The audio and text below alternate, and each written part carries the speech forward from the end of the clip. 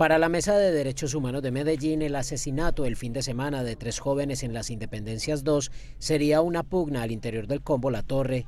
En esa hipótesis también trabajan las autoridades que están tras la pista de un menor de edad sospechoso del ataque. Siguen extorsionando, siguen desplazando y siguen eh, desapareciendo y eh, también haciendo ajustes donde eh, asesinan a algunas personas. Eso es una realidad no solo en la Comuna 3, sino en cualquier parte. La, genera, la violencia genera violencia. Esperemos que, que esto quede en esos términos, pero la Policía Nacional está muy atenta al tema. Entre enero y noviembre en la Comuna 13, las autoridades han atendido 110 casos de muertes violentas, 62 menos que en 2012 en el mismo periodo.